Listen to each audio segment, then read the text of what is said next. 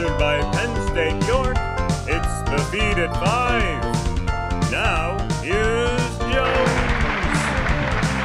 Hey guys, welcome back to Feed at 5 with your hashtag of the day tweets you may have missed and a great way to start the week. I'm Jones, let's feed. First up, CBS News tweets, scientists develop artificial skin that can not only feel pressure, but send signals to the brain. Creepy. Did they rip the whole pressure tech from the iPhone 6s? New York Public Library tweets, we're digitizing stacks of documents from early American history. That's a little self-defeating for a library, don't you think? On the other hand, adapt or die.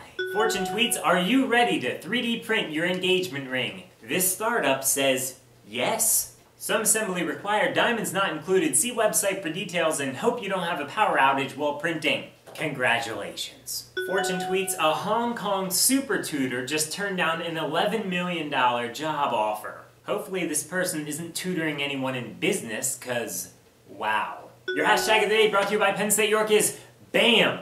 Check it out.